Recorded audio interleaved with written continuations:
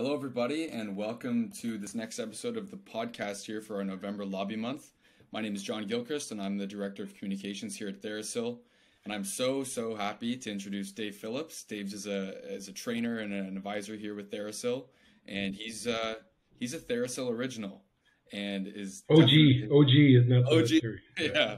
TheraPsil OG. And um, Dave does at least one training a month with TheraPsil. He's so intimately involved in everything that we do, and thank you so much for making the time to, to chat with me today, Dave. Happy great. to support our ongoing efforts, my friend. Awesome. So I guess maybe we can start by you telling me what led you to TheraPsil and in general what led you to psychedelic psychotherapy. Yeah, it's a for me it was a kind of a progression in my own professional life. So I've been a therapist uh, really starting in the late 80s, so over 30 years now. And the bulk of my work through the years, like most of us therapists, uh, was trauma, and uh, certainly started treating from with a trauma-informed lens, you know, back in the 90s, and uh, even when before we even kind of had the, that terminology back then, and uh, have really uh, loved that framework. I just think most people's problems are best understood through the lens of, of trauma or injury, and uh, yet I was uh, beginning, you know, in about 10 years ago, uh, eight years ago, starting to feel quite a bit of therapeutic fatigue in terms of uh, there was, well, a number of my clients absolutely were responding well to treatment, and that's beautiful when that happens. Uh, there was a percentage, and I, you know, I'll ballpark it around 40%, something like that, a good number, who, despite my best therapeutic work, their absolute courageous hard work that they brought to the to the sessions, we just could, couldn't get past a certain point. It, it just and uh, it was very frustrating. And I'm not the only one. I mean, I'm, I'm a supervisor and an educator, and I've been well connected with the field throughout uh, throughout my career. And knowing this was almost like a, a, a collective kind of uh, lament for all of us that that we could only take clients so far. And I was actually just thinking maybe maybe I'm done. Maybe I just can't work with this. And I remember it was about seven years ago. I read an article about uh, from an organization called MAPS, which I'd never heard of, and talking about the use of MDMA uh, for PTSD. Now, at the time, uh, I, had been doing some work in the uh, wellness space and uh, running a substance use program and and I'd gone to a conference. And I remember the keynote speaker was a brilliant scientist, and she said of all the street drugs, in her opinion, the most dangerous was ecstasy. And she went on to explain why. Now I, I'm a dope, I don't know, and I just know that I just thought to myself, MDMA bad. And so when I read this article, uh, I just said, yeah, I just can't buy that. That's just not solid. But about six months later, I read another article on Johns Hopkins University using psilocybin, which I mm. didn't even know what that was. Found it was magic mushrooms for the use uh, for treating uh, end of life anxiety for cancer patients. And that, for me, it was the you know my regard for Hopkins, Johns Hopkins as an academic university, uh, uh research uh, research institution, and I just thought to myself, wow, uh, I started to look into it. And then, you know, like most of us, once I started getting into the research, when I started getting into the into the articles, I my eyes just were opened to a new breakthrough in therapeutic uh, models. And um, I mean, I just knew it. I, I knew that we'd found something substantially different, and I would just couldn't wait to get at it. So I, I started doing my kind of own study uh, for a number of years and uh, eventually led me to the Psychedelics Today's Psychedelics Today podcast. And uh, Joe and Kyle, who were wonderful with me, they supported me and started getting me connected. And I started to do my own kind of uh, learning. And you know, I'm pretty bright. I know therapy really, really well, so I didn't need a lot of education there. I was really trying to understand psychedelics. I took some coursework, and uh, then I uh, I connected with a, a real uh, leader in Canada uh, in psychedelic medicine, and, and uh, he just said, until you have your own experience, mm-hmm. uh, your education can really only go so far. So as things worked out, I was able to get connected to a, a very gifted um, underground therapist who led me on my own experience, and after that, I knew that that we we had stumbled onto something good. Started working with uh, what I call friendlies, non-clinical folks, to learn the the process, and then I, I started working with a cancer patient, uh, Lori Brooks, who's mm. you know, the subject of the Dosed 2 documentary. Lori's just such a beautiful person, but her at that time her life was in really really bad shape, and that that my role with uh, with Lori, we got connected to someone who knew of the work of TheraPsil, and they kind of you know made some connections, and so I got connected with TheraPsil and just recognized right on as I met with Spencer and the team that there was a real synergy of values that we saw the saw the universe saw this in the same way, and they told me what they're doing in terms of advocacy. So I got on board, and that led us to you know the 2020 um, uh, exemptions, Section 56 exemptions being uh, passed by the health minister for Lori, and then subsequently for myself to use it for training. And because I've done so much work in the training and education space, uh, TheraPsil invited me to develop a course for therapists and healthcare professionals, and that was uh, back in March of 2021. We started our first cohort. I'm now, I think I'm on my 14th or 15th cohort now, and uh, it's just very, very exciting to see how, Uh, you know, we're, we're really advancing in, in this model, which is, you know, really important. It's a very different way of working. So it's very important that healthcare professionals get trained on this. It's not, it, and as you know, John, but I'll just say it out loud, we have to say this so often because of cultural conditioning. This is not psilocybin therapy. This isn't just take mushrooms and you're automatically going to be better. Is a very well researched therapeutic model which involves preparation, the dosing session, then integration. And done in that way, the numbers that, that are coming from the research world are just almost almost unbelievable for so many different clinical applications, but we're looking at 70 to 80 percent recovery, and uh, you know it really is represents a, a, just a new way of treating mental mental illness in general, mental health problems, and yet at the same time, because these substances, you know, uh, are scheduled, they're not, they're they're legal for use. You know, we've had to, you know, work so carefully with the governing agencies to make sure that you know we're all working together. And you know, the purpose of our advocacy work is that's just been kind of frustrating. You know, I get it that uh, from the point of view of Health Canada, they are you know wanting to make sure this is a safe uh, procedure. We're, you know, safety is huge for us as a value, but you know, we're also saying, hey, this is compassionate use. The, you know, the the fundamental uh, legal question: Do Canadians have the right to use plant medicine for relief of their medical conditions? And you know, I, I think the answer is quite clearly yes, they do, and that's why we're pushing. But kind of that's how I got connected with there. So I'm very, very pleased that my my career has taken this kind of turn. Well, me too, Dave. I mean, I uh, I actually got to I've never really thank you for your participation in creating the training. I actually got to do the training myself um, back in July. Yeah, I know. Like uh, I'm just some guy. I'm not a, tr- a psychotherapist or anything. But just a guy. I, yeah, I was invited to to participate in kind of like a communications role to see what it's like, and so okay. I actually got to but Joseph DeLeo, who was oh, it was Joseph's cohort, wonderful. Yeah, yeah as soon yeah. as I got there on Monday morning, he was like, "Oh, you thought you would just be taking notes? Oh, no, no, no. Yeah, that's not how this works. That's right. Yeah, like, yeah this right. is your dyad partner, and this is how we're going to do things. A lot of the psychotherapy obviously went over my head, but it was like, yeah. I, I don't think I, I've been angry once since that week. it was wow. just like what a beautiful story. Like, it was great. I, I just I, I felt so full, and I made eleven really good friends. Um, I, I'll remember all their names forever. Yeah. The training was like. Oh, that's what a great story! Was, I love that. That's great, John. So happy for you. Yeah, and I guess um, why do you think psychedelics are so powerful, Dave? Like, why, especially for folks experiencing end of life anxiety? Like, what is this? What does this yeah. do for them? So, I mean, there's we could we could really answer the question kind of uh, from a, maybe a spiritual perspective, and I think that's valid.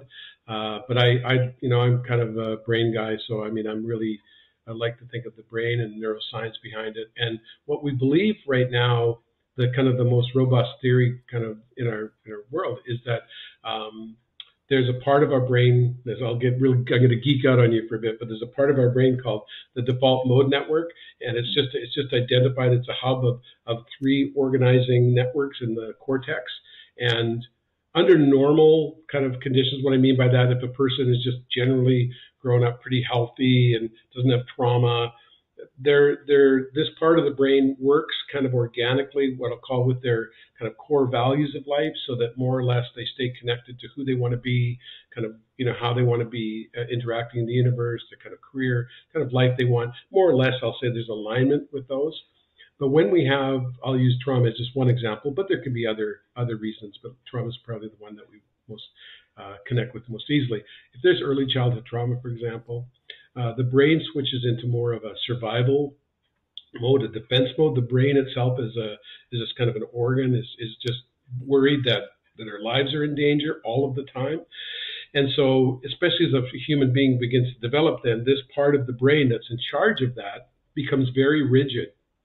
And and so that you know here we are now as adults, you know, 30 years later, and we're still operating as if our lives were kind of in danger. And this part of our brain can become very, very strong and and kind of controlling of our lives. And, and that can be mental habits like depression or anxiety. It can be, you know, habitual things like addictions or behavioral addictions. And then, you know, the most common thing I see when people come in, if I use say someone with a, with a cancer, for example, they come and sit down with me and that, you know, I say, what do you want? You know, and of course they said, well, I don't want to have cancer. Okay, well, that's not on the menu. I said, but but what do you want for your life? And they all say the same thing, John. They say, I don't want to be afraid. I want to be present to my life. I don't want to withdraw from my family, my friends. Uh, I want to know what's next. I want to know what life after death is like. I want to know what my family's going to be. All these beautiful, beautiful values. And yet that's not where their life is. I always had like, this is this is where your life is and this is where you want to be and how come you're not you know in that beautiful alignment well, what we believe happens during these high dose sessions, and it's not, again, just take the mushroom, there's got to be a, a, sense of safety with your guides, a, a sense of nurturance, and, and many other factors. Um, but when you use this medicine in this way at this dosage, what we believe happens, and to quote Dr. Carhart Harris, is one of the leading uh, neuroscientists in the world of psychedelic medicine, he uses the word deactivate. He thinks we actually deactivate this part of this controlling part of the brain for a short period of time, you know, four, five, six hours. Many people don't love that sensation. I don't. I'll be real honest because I love my brain.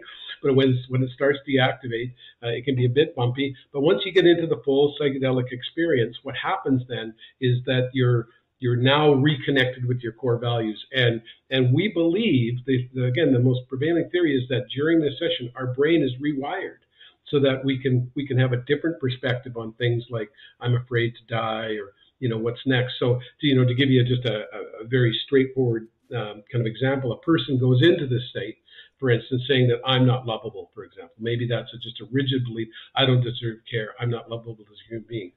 They go through this process. They come out six hours later and they look you in the eye and say, I deserve love as much as the next person. Now, as a therapist, John, I don't know how to do that in six hours. Not so it's so deeply believed. And so that's what we think is the kind of mechanism of change. And, uh, you know, it's, it's a powerful treatment, but uh, integrating those changes then over the next six months can have a, a life changing impact on a person's life. Yeah, it's, it's, I mean, you mentioned it, Dave. It's, you wouldn't believe how many comments and emails I see that are like, if you guys really want to help people, why don't you just go tell them to buy the mushrooms? Like, you know where to buy them. I'm like, yeah, anyone can buy mushrooms in Canada. They're yeah, you can buy them at a storefront. And I live in Toronto, and on Queen West, yeah. there's a there's a store you can walk right in and right, buy them. And right. I know they've got them in Vancouver, but the point that we always try to get across is how important the therapy is. Like, it's this is or we would call set and setting. I mean, I right. suppose we could move outside this the you know the strict rigid therapeutic environment you know, as we as we evolve. But set and setting are everything. So there's, right. you know, it's really important that you know a person feels safe and that their intentions are there. And so we think within our model, especially for like actual clinical human beings who are you know seeking help, that we want to do it in a very very safe way and an effective way for them. And that's how you know that's how our model has kind of merged the way it does. Right, and I guess th- there is that. You mentioned the the push and pull between this clinical model and the position that Health Canada has with the legal state that at least our, our position would be that yeah of course you need clinical trials yes definitely you yeah. need to you need to measure this but with cannabis right. I, I, don't think there was a single clinical trial uh, that happened before they federally legalized it for medical use yeah yeah so yeah some days it does feel like the standard is is a little higher but whatever. I mean it's you know we'll we will satisfy the the legal requirements. We will jump through the hoops. We will you know, take our government to court if we have to. Um, but the other, so I mentioned that's a neuroscientific kind of perspective. Another perspective that I think is another way of looking at it. That's what I call a spiritual perspective, and this is this is really challenging for a lot of you know hardcore clinicians who, in their medical training or their nursing training or their therapeutic training, nobody mentioned the word spirituality. You know, it just wasn't a part of the kind of uh, vernacular. Uh, but we are noticing because so many people have what we'll call a mystical experience or a peak spiritual experience during their their uh, psilocybin journey that we have to become very comfortable uh, talking about spirituality, becoming curious about people's experience. And it's interesting in the Hopkins, uh, Johns Hopkins research, they they identified this what they call it a mystical experience during the psilocybin journey as being the highest correlated value to outcomes so that when you do have a sense of it doesn't have to be with god god or the divine but a sense of that there's something more beyond me that i'm known by that something that i'm part of that something i'm connected and that something is is loving towards me is beautiful and even indeed myself i have a i have a kind of a quality of immortality about me. And then when you have when that that's not just you know told you on an audiobook you read it on a blog but this is something you experience. When you have an experience of that it, it, it changes your view on everything right? It, it, you begin to like one of the things i one of the most beautiful things that happens in sessions a lot i just love it when it happens all of a sudden you'll just hear the the person go into spontaneous laughter. And and you know they're laughing we're laughing as they're laughing we don't know what's going on. And later on they tell us you know this is so common. I said what was all the laughing about? They said you know i was just looking at my life. And all of a sudden it just seems so silly all the things I worry about just don't seem to matter. And that's such a beautiful thing. I could tell them that, and probably people tell them that all the time. Quit worrying. Don't don't take it so seriously. Well, yeah, sure. I'd, I'd like not to worry, but I can't stop worrying. And they go through this experience, and they themselves are the ones saying to them, "Lighten up. It's not that serious." And again, we see this all the time. So it's just another perspective on on what's going on in these sessions that seem to shift into these beautiful turnarounds in people's lives. That's so cool. Yeah, it's, it's I feel like there's always a correlation between psilocybin and laughter. um, yeah, that's, yeah. That's brilliant. Like I've, I've said, you know, if you can truly laugh at yourself, I don't mean in a mocking way, but just in kind of like a, like I'm so silly, kind of a kind of a light way. That there's no antidepressant in the world that is effective in the brain. Is that I will sign my name to that statement. Yeah, it's so cool, like hearing from people, like you mentioned the like uh, almost like a slate cleaning. Um, the way that uh, antidepressants or or some sort of other anti-anxiety that it, it, it makes the the edges less sharp. It makes your your lows less low, but it also make your highs less high. And that this like a psilocybin. Yeah, and that's the best case scenario. You know, right. that's best case. Oftentimes they don't work at all. They're very very frustrating. And I think you're right, John. Most of our psych meds are directed towards symptom relief, which is, you know, that that's nothing wrong with symptom relief. But in the long run, you know, people don't want to be on these meds their whole life. They want to actually get down to the core of the problem, which, you know, research seems to suggest for many people is, is rooted in early childhood injury. And, you know, for me, if that's the case, and again, the research seems to support it, then people don't have to apologize for being injured. They didn't ask for it. It happened to them. It's their responsibility to deal with cleaning their life up, but to, to be able to recognize that, hey, we can treat injuries, right? We don't just have to treat the pain associated with the injuries. We can actually see if we can shift the injury itself. And that, that you know, that's not just psilocybin, but that's ketamine, that's also MDMA, these beautiful medicines that seem to have popped out of nowhere into our world. I mean, I know it's not, but that's what it seems like. And yeah, it's just beautiful. Wow, that's that's so cool. I, I don't think I've heard you say that before. I don't think. I've What's that? that?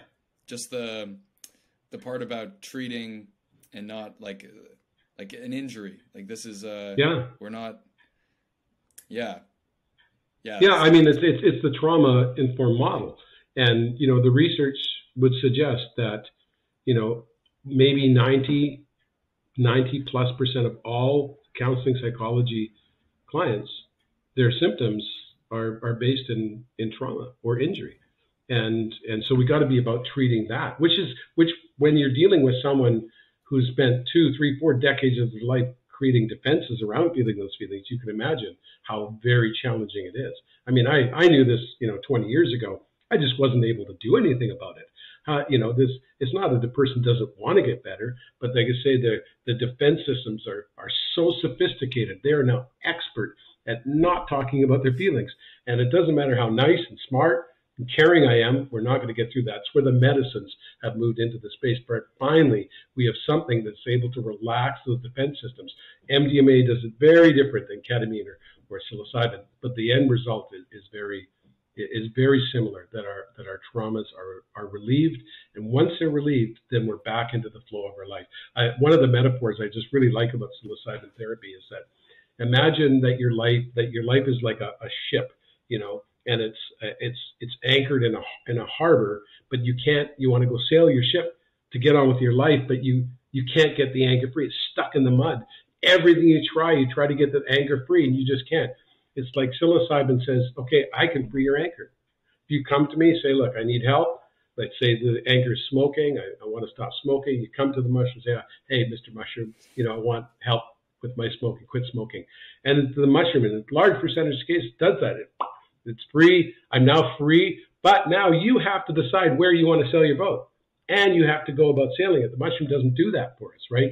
And so that's that's again where integration comes in. But it's just a, a nice way of thinking that because of injuries and lots of other reasons, our boats get stuck. I mean, I've said for, for decades the best metaphor I can use to describe my beautiful, beautiful clients is that they're just stuck and they don't know how to get unstuck. And sometimes I know how to get unstuck, but I can't do it. Again, that's where the medicines are are just so perfect for us. Yeah, the, the integration thing is, uh, I didn't really realize how important that was until I started working at TheraPsil. Right. Hearing about like yeah. like Tom Hartle, he did his first psilocybin session over two years ago, and mm-hmm. I spoke with him recently, and he said, you know, what's crazy is I, I still am realizing things from that first session. I'm still mm. integrating that experience, which is just yeah. like it's really cool to think about. That it like yeah, that's me too. I stopped uh, doing medicine sessions a couple years ago I'd done three deep state uh, psilocybin sessions, and each one there was like this massive download of, of insight and wisdom.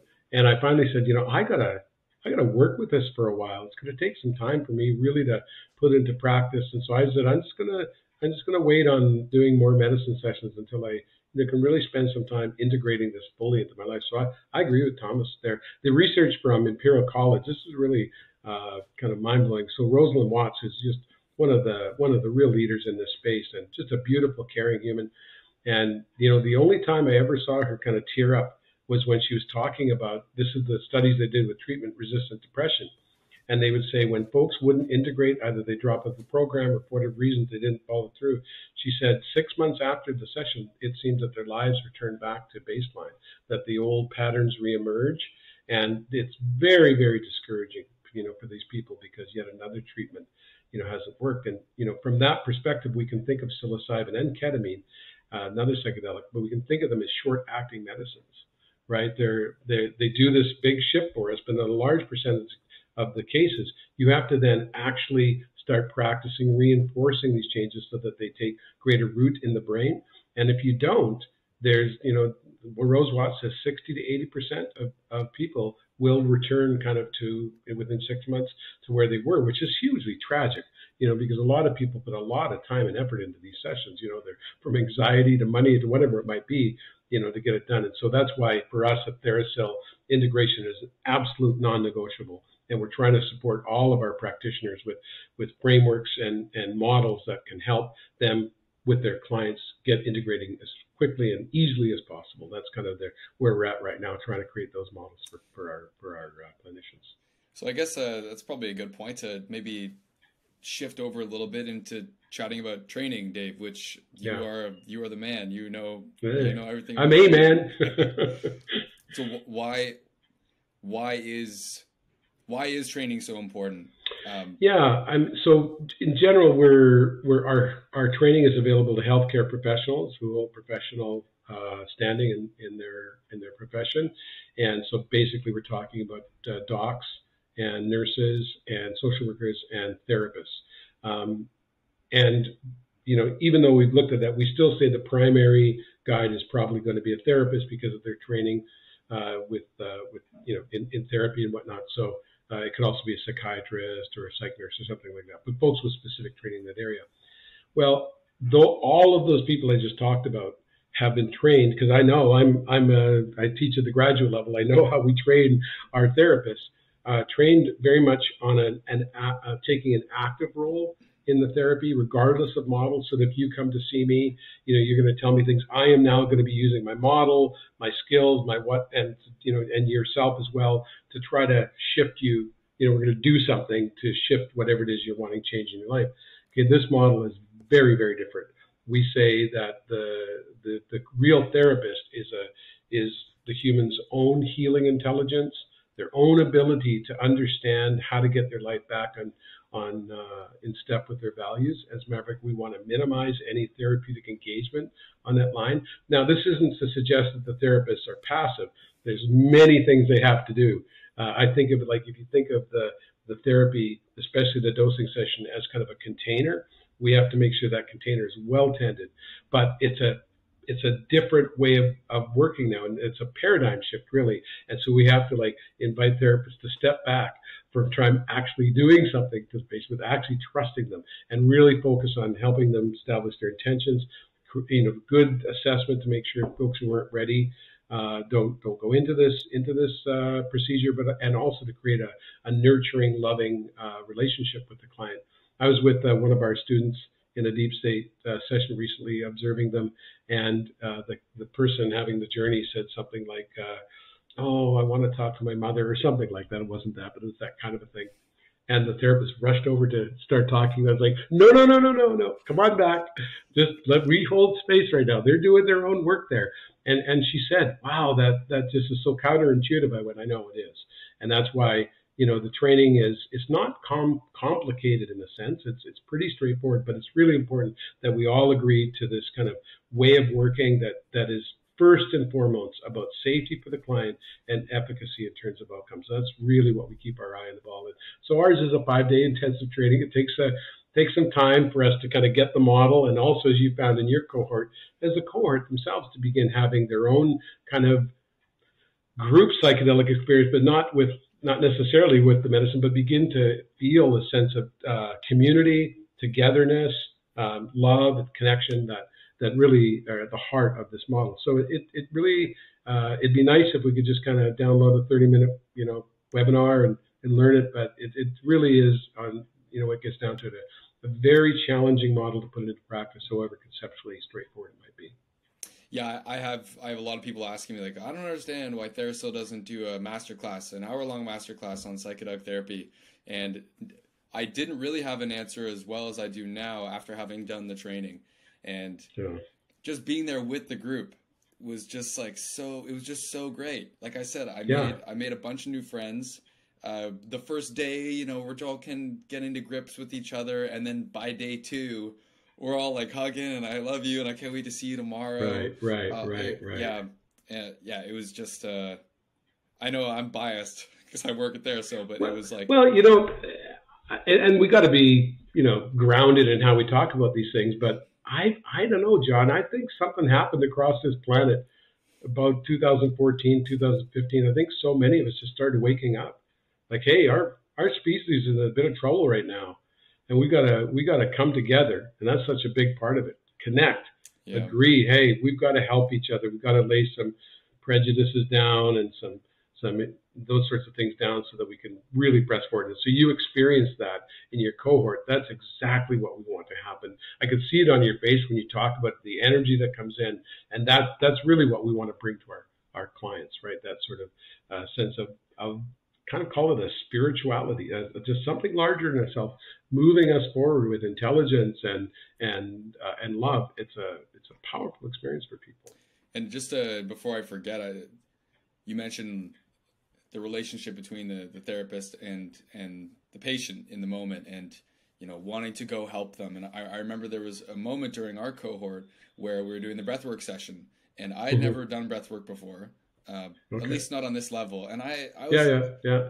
I was a little skeptical that like anything would happen, and then sure, sure. I went uh, like in the dyad partners. I went second, and there was someone in the room when when I was observing my partner who just started crying like really, really Deep. sob- Yeah, sobbing. right, right. And I yeah, was like, yeah. oh, jeez, oh my God. And watching th- their partner rush to go help them. And then, take care of them, right? yeah, Joe, Joe was like, no, no, no, no, no, no, no, no, no. Right. And Yeah, like, give them. but- Let they're doing their work right now.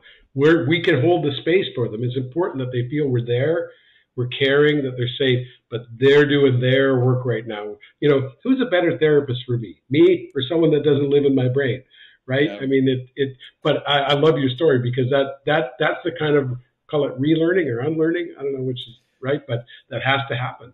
It was also just so great to see like it wasn't just the partner like every other person in the room had that instinct to i want to Mm.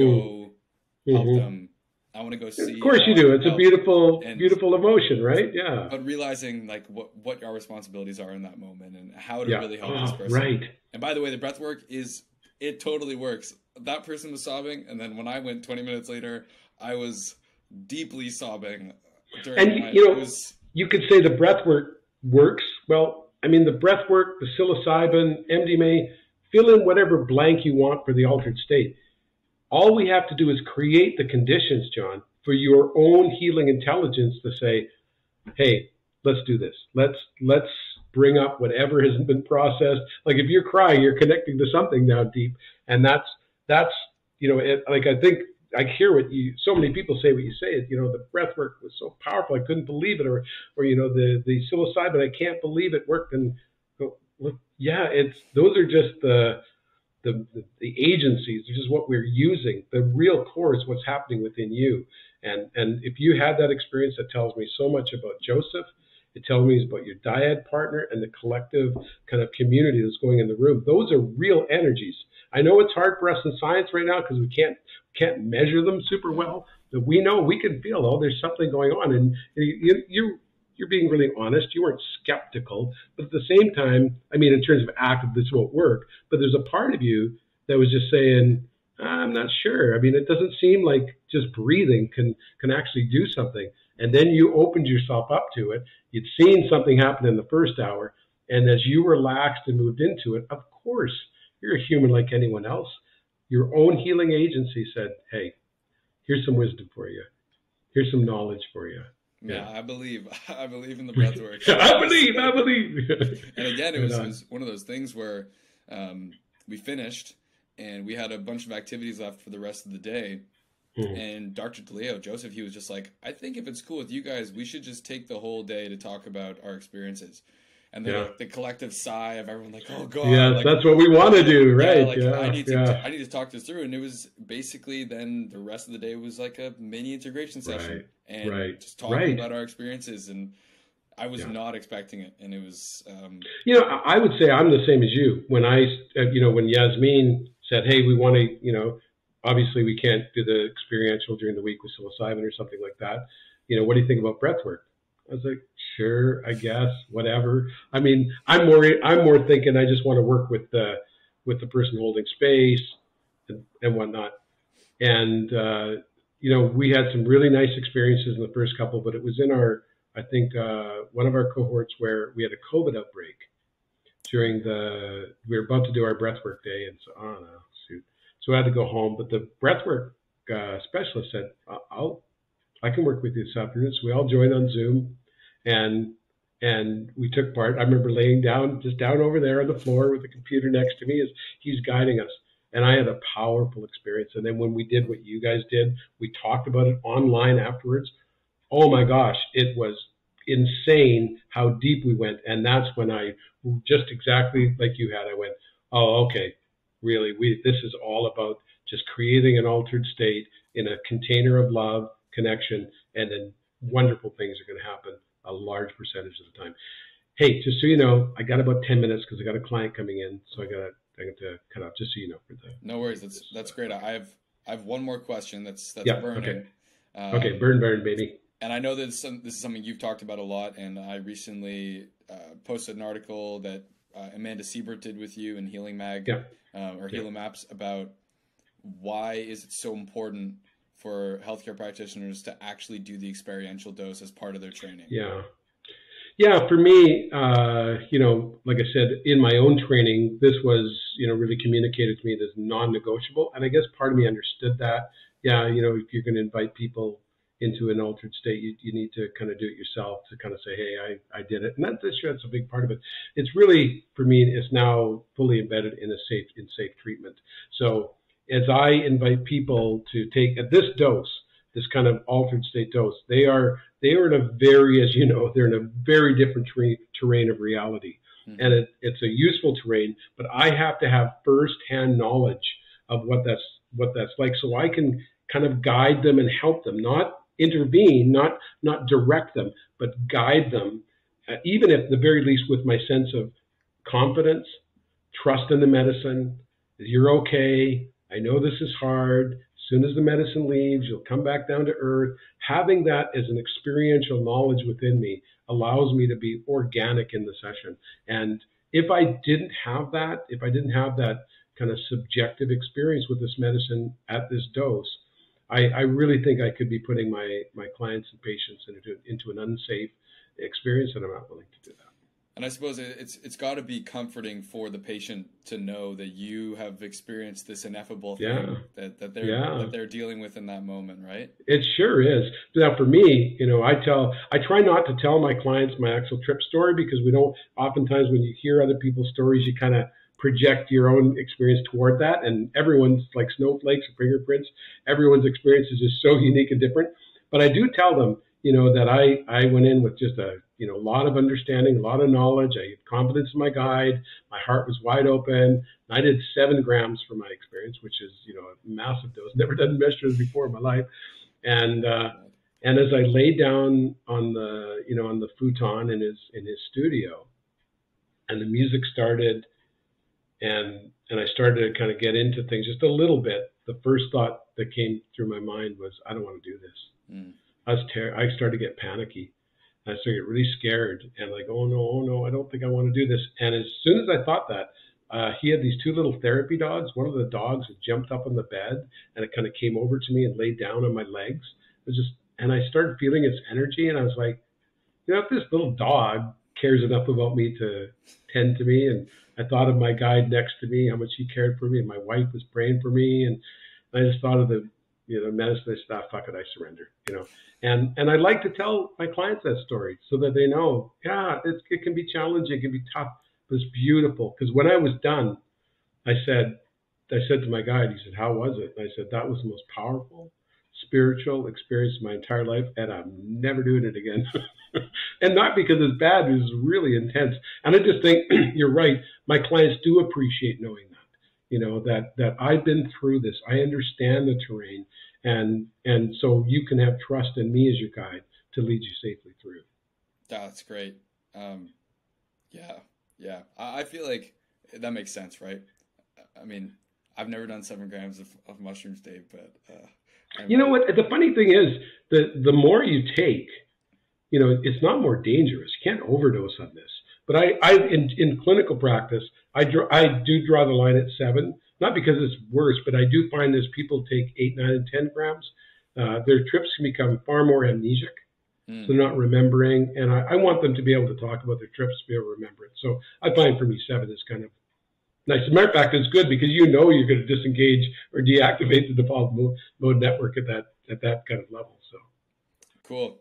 Um, I guess maybe just as a, a last thing, last thing, if you have any, like, what would you say to the folks at Health Canada right now who are, as uh, Spencer, uh, the CEO at TheraPsil, recently interviewed Bruce Tobin, and Bruce talked about how it seems like there there's games that are being played, and, and every time there's an exemption scheme that comes out, that and TheraPsil and the people that work around TheraPsil find a way to deal with it, that they have some other scheme that, that that's there to replace it. Yeah, I, I don't know about that. I mean, I'm, you guys have a far better insight into that level of things than I do. I you know I don't know if that's true or not true, but but I would say a couple of things. You know, first of all, to the health minister, your your previous minister gave me an exemption to use TheraPsil in training, to use uh, psilocybin in training contexts, and you're saying no to other healthcare professionals who carry the same credentials I do.